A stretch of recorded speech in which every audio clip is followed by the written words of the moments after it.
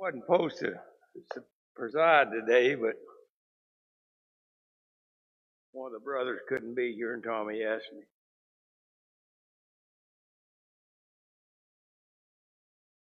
Any time that you can get the opportunity to speak and tell brothers and sisters in Christ what a great blessing it is to be a servant to the Almighty God.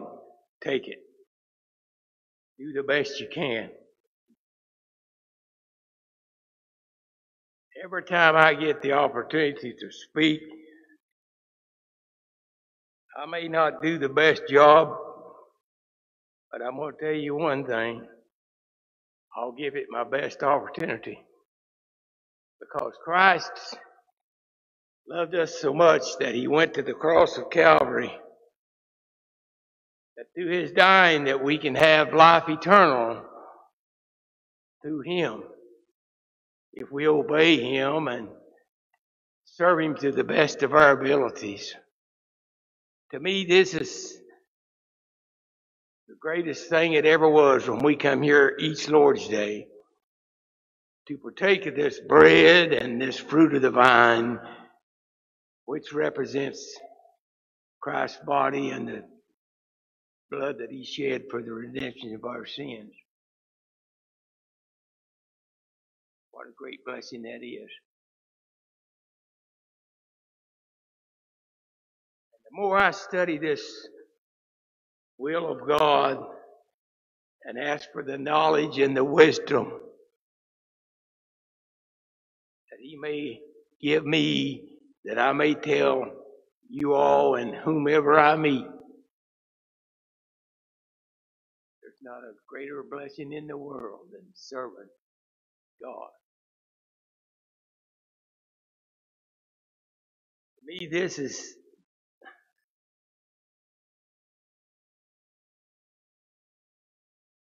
it. Just think about this.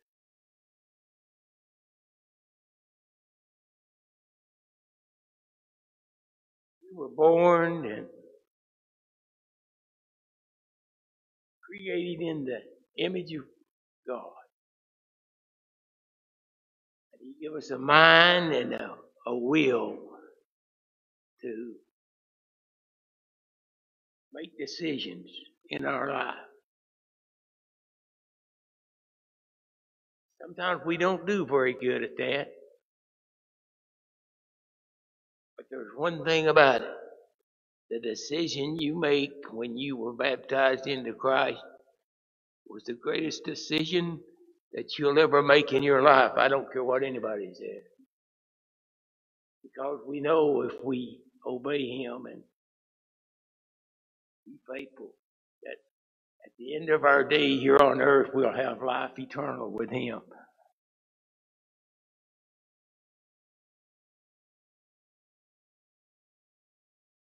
First Corinthians, the eleventh chapter.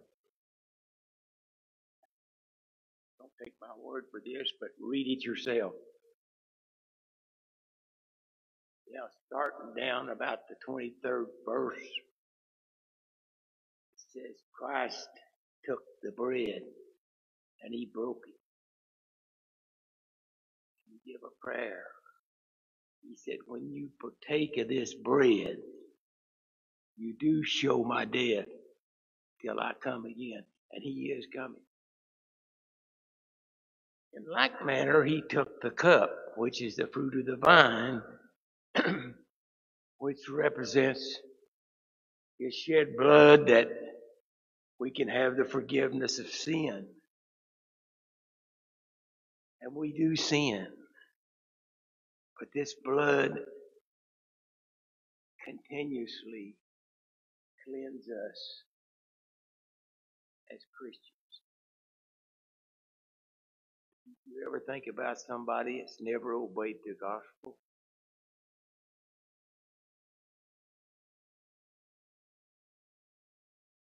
It's not left to us to judge because he is the almighty judge.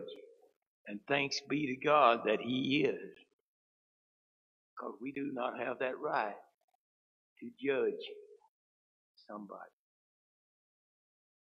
But we should show our love towards them and teach them about His divine grace and love. Let's give thanks for the bread. Father in heaven, we do thank you for this bread which represents Christ's body that hang between heaven and earth for each one of us. We partake of this, Lord, let's put our minds as clear as we can and let us think about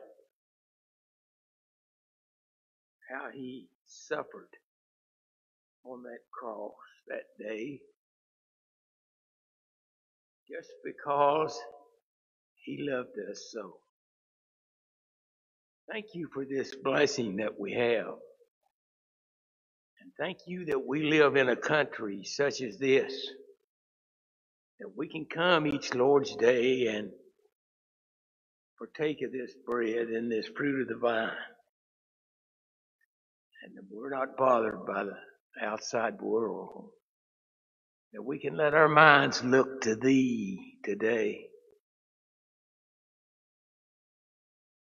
We pray as we partake that we're so thankful. As we partake, let us never forget what this stands for. For it's in Christ's name I ask this. Amen.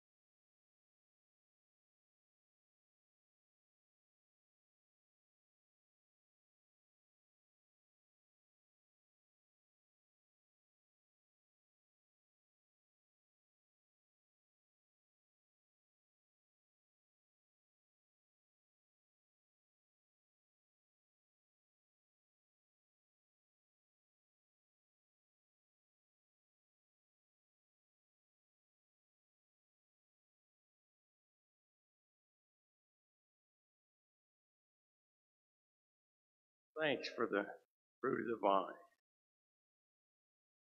Father in heaven, we thank you for this, the fruit of the vine, which represents Christ's blood that was shed for each and every one of us. We're so thankful for this blessing that we have today. Lord, it's uh, unbelievable what you have done for us. We can't even imagine what it would be like without you giving your son that we may have life and have it more abundantly and that, our lives will be better. So we just thank you for this blessing that we're about to partake of. Let us always have this opportunity, if it be your will. Thank you for Jesus and his love for each and every one of us. For in Christ's name I ask this.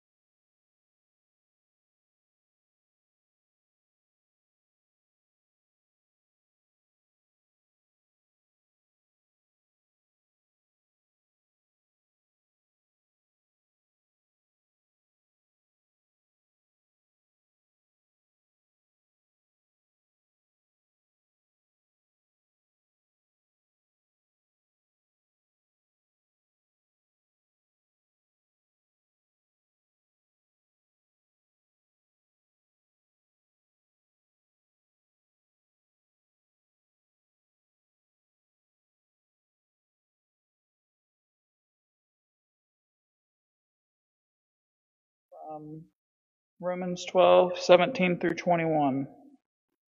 Do not repay anyone evil for evil. Be careful to do what is right in the eyes of everyone. If it is possible, as far as it depends on you, live at peace with everyone.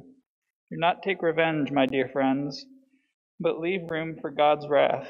For it is written, It is mine to avenge, I will repay, says the Lord. On the contrary, if your enemy is hungry, feed him. If he is thirsty, give him something to drink.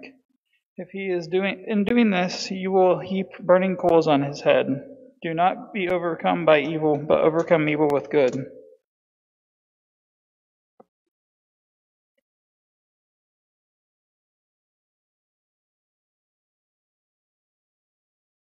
Morning, Crosspointe. It is good to all be back together again. Amen. Yeah, let's clap it.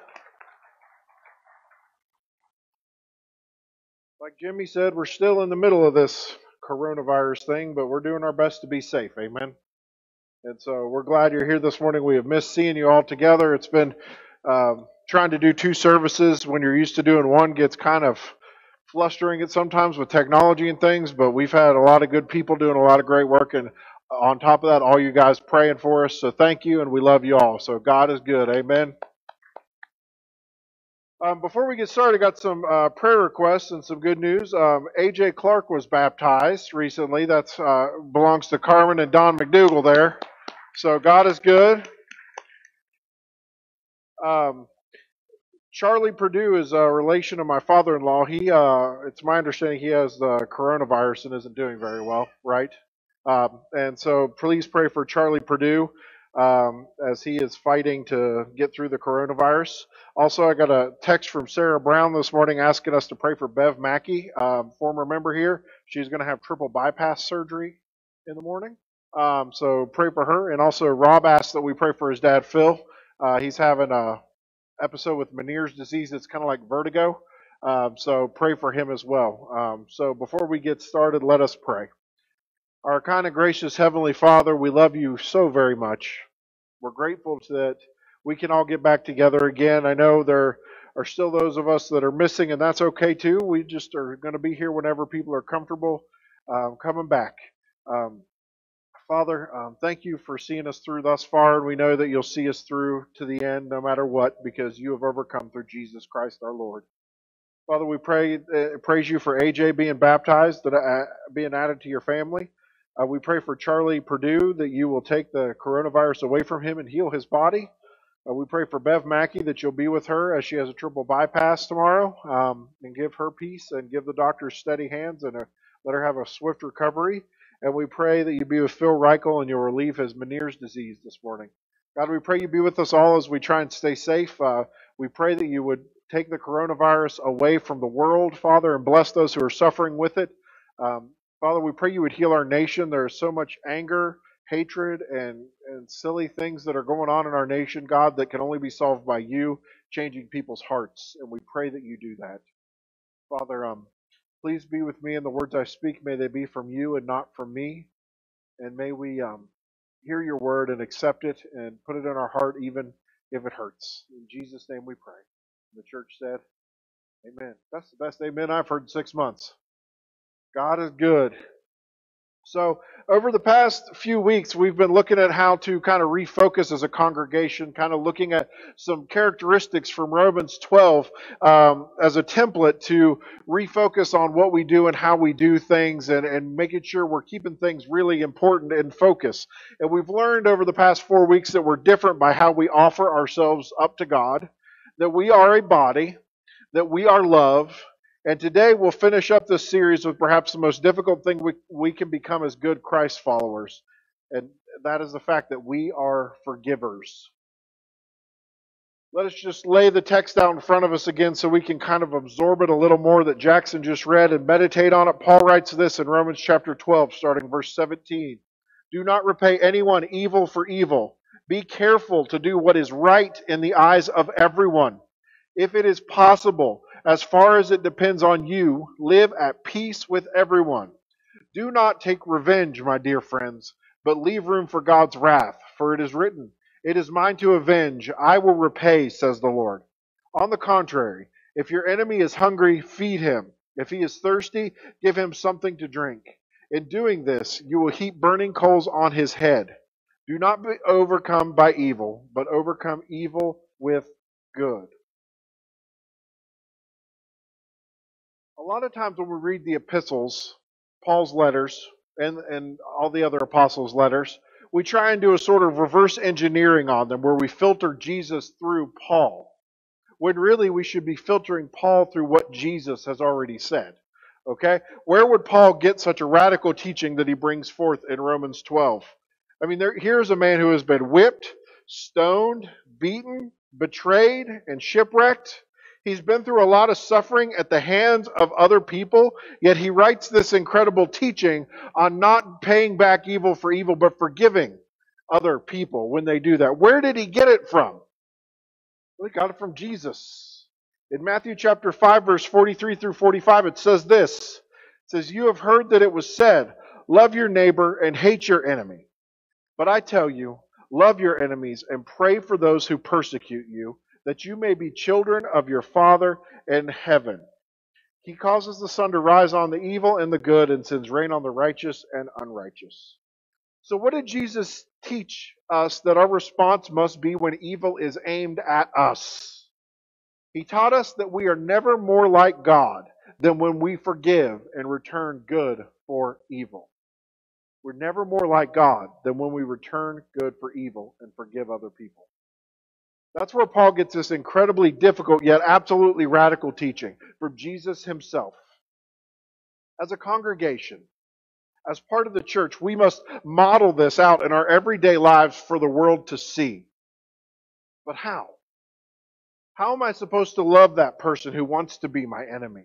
How am I supposed to repay good for evil? How am I supposed to live this out? This is hard. That's why this text is so important. Because a lot of, of a lot of the things that the church does, this is one we must get right, family. Let us break this text down. Paul says this in verse 17. Do not repay anyone evil for evil. Be careful to do what is right in the eyes of everyone. So, the desire to get even with anyone is an unchristlike attitude, period.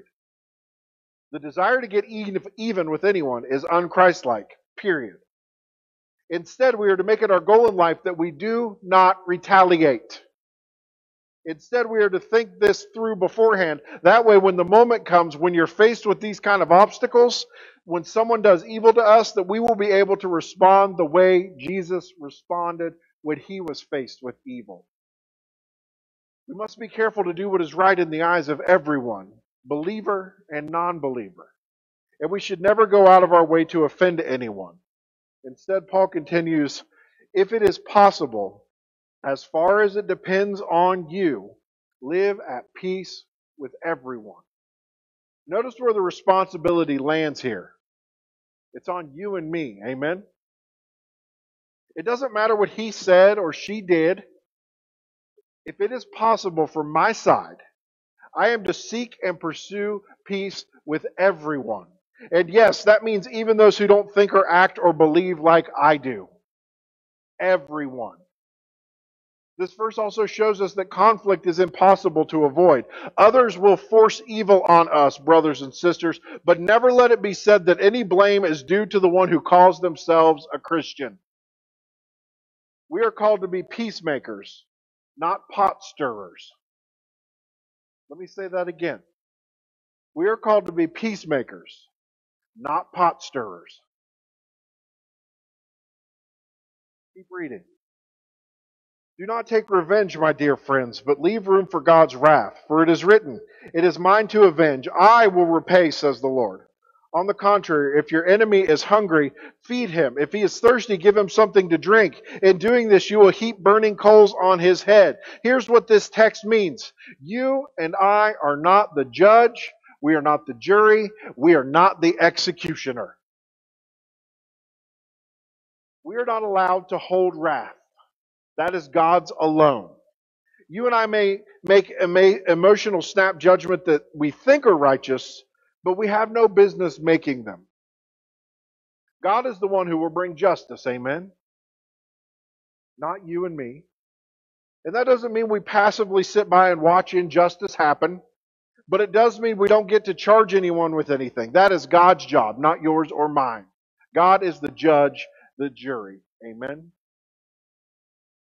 Instead of taking matters into your own hands, Paul, like Paul tells us to do the opposite. He says, if your enemy is hungry, then feed him. If your enemy is thirsty, then give him something to drink. Why? Because it's not the way things are thought to work in this world. And by doing that, you will keep, you will be like heaping burning coals on his head. And we sometimes smile at the thought that we are heaping burning coals on the head of our enemy, but that is the exact opposite of the principle taught here in this scripture. This passage is the practicality side of loving your enemy. When you do good as, as it's described here, they often are taken aback and confused because they don't know how to respond because they're used to people trying to get even with them, trying to get back at them, trying to get revenge on them. But when you don't do that, it's so confusing. It's like that all of a sudden a burning pile of coals has been poured on them. You love them because love is the basis of your Christian character. It is why love generally heads the list for most Christians. The fruit the, that the Spirit produces in Christians begins with love. Your genuine love for people who don't like you often frustrates them because they don't know how to respond to that type of kindness. That means you'll affect the person's conscience and that they will know what they did was wrong and it will lead them to hopefully change and maybe even lead them closer to God. Whether they change or not, you will be in the right always for loving your enemies and serving them. And that's why it matters at the end of the day, because it's not about how they respond to you, it's about what you do to them. And you are to love your enemies. Amen? Our goal is often to get even with someone. But why in the world would you want to get even with someone you don't even like? Instead, you're not seeking to get even. You're seeking to get right. Paul finishes up this passage with this loaded sentence. In verse 21, he says, Do not be overcome by evil, but overcome evil with what? Good. Overcome evil with good. It's so easy to get mad, isn't it? It seems so natural to hold a grudge. It feels right to get even. But, brothers and sisters, that is not how we are to live. We are forgivers. Amen. Peter, the apostle, echoes what Paul is taught by Jesus when he writes this in 1 Peter 3 9. He says, Do not repay evil with evil or insult with insult. On the contrary, repay evil with blessing, because to this you were called so that you may inherit a blessing. So Peter says, Do this because you'll be blessed by doing it, because this is what you're supposed to be doing. But Peter, they deserve it. I know. But don't repay evil for evil. But Peter, they really hurt me. I know. Don't repay insult for insult. But that Facebook post, Peter, I know. Don't repay evil for evil. Instead, repay evil with a blessing or with good. When you're mistreated, offended, hurt, thrown away, abandoned, you just don't sit in neutral. You go positive and you be a blessing to the person or persons that did something to you. We see this modeled perfectly in the life of Jesus. He didn't just say, love your enemies or pray for those who persecute you or do not resist an evil person. It'd be one thing if Jesus just said that and didn't do anything, but he did it. He lived it. In Luke 23, 33 through 34, we see this. It says, When they came to the place of the skull, they crucified him, Jesus, there, along with the criminals, one on his right and the other on his left. Jesus said, Father, forgive them, for they do not know what they are doing. And they divided up his clothes by casting lots. This is huge. Not only did Jesus, the Creator, allow those who created him to kill him, he even forgave them while they were doing so. Mind blown, right? Think about that for a minute. That's exactly what you and I are asked to do. Peter and Paul are writing this to Christians who are being mistreated and persecuted for no other reason than their faith in Jesus. I mean, where did they get this stuff we saw? Where did Peter pick this up? This whole respond evil to good, don't repay evil, don't insult and strike back. Well, he got it from Jesus. And Peter was there again. We're going to read this again with the day Jesus made a revolutionary statement that most of us have already heard today, but we need to hear it again. Matthew 5 43 and 44. You have heard that it was said to love your neighbor and hate your enemy. But I tell you, love your enemies and pray for those who persecute you if you call yourself a Christian, if you follow Christ, then refusing to, to respond in this way is then refusing the, then refusing to respond like they did or repay evil with evil is the most Christ-like thing you can do. It is the most kingdom of God thing you will ever do on this planet. I want to close it out with three questions. Two of these are for everyone. One is specifically for those who would say that you're a Christian. The first one is this Do I really want to be even with someone I don't even like? Do I really want to be even with someone I don't even like? No, you don't. To be even with someone you like is to be like the person you don't like. You do not want to be like that person. So the answer is no. Why would you act like that? I don't think you're going to want the end result of that because you will become the very thing you hate. Amen? The second question is this What story do I want to tell? You should ask this question at every decision making, choice choosing part of your life because every choice you make becomes part of the story of you. Think about what's being said about you, how you're being mistreated, how angry you are. What story do you want to tell when this is nothing other than a story to tell? Do you really want your story to be, I got even?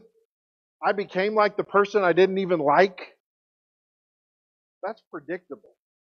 That's what the world expects. It's so unremarkable. Here's the final question specifically for Christians, but anyone can play along. But listen, if you're a Christian, we don't get the option to skip this stuff. We don't get a loophole. If we are Christ followers, this is Jesus 101. This is I have decided to follow Jesus. This is part of the deal. The question is, what would it look like for me to return good for evil? What would it look like for me to return good for evil? When you think about him, when you think about her, when you think about your ex or your boss or your son or daughter or your grown children or you think about your parents or you think about your, your dad or that neighbor, that coworker, what would it look like in this specific context, in that, in that specific relationship for you to return good for evil? Use Peter's words, what it, would it look like to be a blessing to someone who has hurt you? To someone who has offended you. Not just do nothing and ignore it and say silly things like, I'll forgive, but I won't forget. Not to just bury your head and pretend it didn't happen, but to be proactive in doing good to them. To do nothing is mercy. To not give what you deserve, that is called mercy. But to actually do something that they don't deserve, to give something they don't deserve, that is grace. And if you're a Christian, this is how your story intersects with the story of salvation. This is our best opportunity to be like our Father in heaven. This is where our story intersects with the greatest story ever told. And the greatest story ever told is God returning good for evil. God giving his son for our sins. That is the gospel. And if you are a Christian, that is your story. Here's the thing then. Generosity and compassion. It's kind of a, an American thing, right? Everybody is generous, everybody's compassionate. And that's good. That's a Christian thing. That's a leftover from a once Christian culture that's still on par for our culture. And I'm all for generosity and compassion. But it is expected. It's predictable. But this, this idea of returning good for evil, that takes you from predictable to remarkable. Thing that should set Christians apart is how we respond when evil is aimed at us. Look, guys, we live in an absolutely terribly divided nation right now. We live in one of the most divisive times in American history. And our tendency is to blame the guy with the D next to his name or the guy with the R next to his name or the gal with the D next to her name, or the, the, the, lady with the R next to her name, and we start putting our focus on these people are evil, they're the reason we have all these problems, and we get so wrapped up in it, we get so angry. And, you know, I've seen Facebook posts. I know what people are posting on Facebook. I'm not blind to it. You know, and we see all these things, and we are guilty just as much as followers of Christ of returning evil for evil. We have to stop the bickering and the arguing about things that don't matter in the end. Jesus is king, amen? He's the only king you'll ever need. He's the only one you'll ever trust in for your salvation. And he's the only one that can get us out of this mess because he's the only one that can change somebody's heart. All this hate and anger and division in our country because people's hearts aren't right. We can't fix the problems until people fix their hearts. And the only way people's hearts get fixed is to get them to Jesus. And that's why showing the loving our enemies, repaying good with for evil is so important because you're going to show them something that is so otherworldly, so supernatural that they cannot help but want to be part of it. I mean, who loves people that hurt them? Who forgives someone who has hurt them? Who lets people off the hook when they deserve to be hung on a tree? And, and some of our vocabulary might say. Christians do.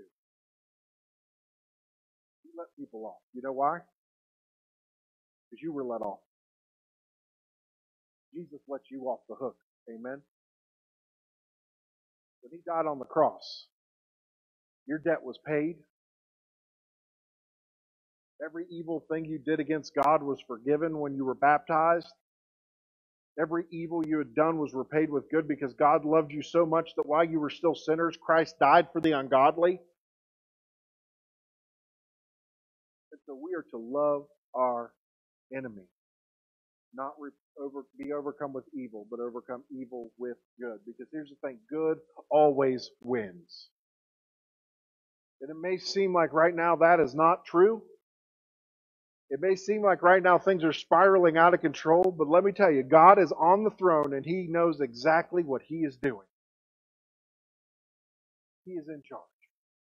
And good always wins. There's a, the verse in the opening lines of the Gospel of John that says, The light shined in the darkness, and the darkness has never put it out. It will never put it out. The thing that should set Christians apart is that we should repay good for evil. And for someone in this room, that's going to be the thing that sets you free. Because if you don't return good for evil, the person who has mistreated you owns you. And here's how you know if they own you. Because you're rehearsing all the stuff that you're going to say and do, all the ways you're going to get them back. And when you find someone who will listen to your sad, sad story, they'll say, well, you ought to do this to them or you ought to do that. And we'll put it on a I'm gonna list. And the only thing that's going to free you is for you to proactively do for someone exactly what they don't deserve you to do for them, just like your Father in heaven. Do for someone exactly what they don't deserve you to do for them, just like your Father in heaven. Even is easy. Don't write a predict- predictable story. Make yours remarkable. One day this will all be part of a story you tell. So what story do you want told when this is just a story that it, that you tell? Some of you are probably thinking that's easy for him to say. I have to get up. I Scott just gets up there, talks, and then goes to lunch. He doesn't know my ex or my dad or my boss or my life. And I get that. I would never get up here and say all this on my own authority. How insensitive. How dare I? And that's why Crosspointe family, I hope you would anchor this in what your Father in heaven has done for you because he is the one whose authority it comes from. Amen. This is the standard. This is the measurement. That's what, as Peter and Paul say, we are called to do. So, what would it look like in your life, in your specific circumstances, in your church, at home, at work, for you to repay good for evil? Forgive, just as you have been forgiven. Now go and do likewise. Let's pray. Our Father in heaven, this is really hard to love our enemies, to forgive those who hurt us, to let go of things that are wrong, to not want to strike back when we're struck. Father, with all the hate and division and things going on in our country, this is so hard for us to wrap our minds around. But Father, you've commanded us to be the light in the darkness. Let us speak reason. Let us not search after getting even, but let us do the right thing. Father, let us think before we speak, be slow to anger. Let us fill our hearts with good things, with love, joy, peace, patience, kindness, goodness, faithfulness, gentleness, and self control. Father, transform our hearts so that we can help others get to you so they can change yours, so that you can change their hearts as well. We love you. We praise you. We thank you. Give us the strength to do these difficult things. because we can only do them through you. And it's in Jesus' name we pray. The church says, Amen. Right this morning, if you're not a Christian, we invite you uh, to become one by being baptized, by repenting of your sins and being baptized into Christ, receiving the Holy Spirit, and starting your life anew. Or if you need the prayers of the church, we'll be here. Whatever your need is, come forward right now while together we stand and sing.